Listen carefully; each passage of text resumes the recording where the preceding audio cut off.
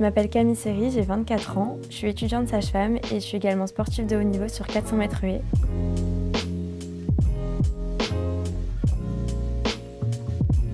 Euh, moi j'utilise la cohérence cardiaque, donc euh, c'est une technique qui permet de gérer le stress ou tout autre d'ailleurs. Ça permet soit la relaxation, soit de dynamiser ou soit d'avoir un équilibre. Donc au début, on va avoir une inspiration, euh, ça va être joué sur le temps inspiration-expiration. Donc inspiration par le nez, expiration par la bouche. Euh, on va faire une session de 3 minutes avec une inspiration qui va durer 5 secondes et une expiration 5 secondes également pour avoir un, équilibre.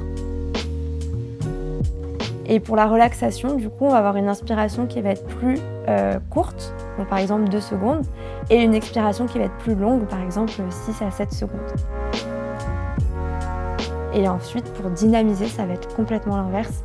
Euh, on va avoir une inspiration qui va être euh, plus intense, plus, plus longue, et une expiration plus courte.